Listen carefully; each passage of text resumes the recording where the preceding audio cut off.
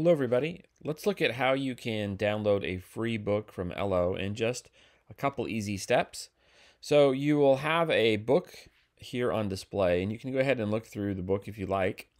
But you want to click on full screen and then actually you have a better view of the pages in the book.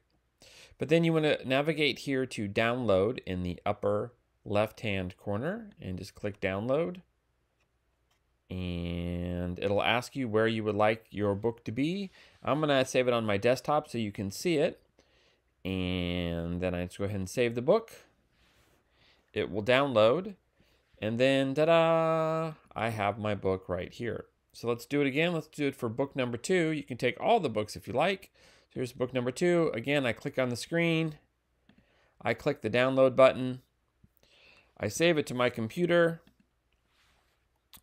And voila, I have the book. So here I'm going to open up book number two. And as you can see, here is the book with the answer key. And those are the free books from ELLLO. I hope you enjoy them. Thanks.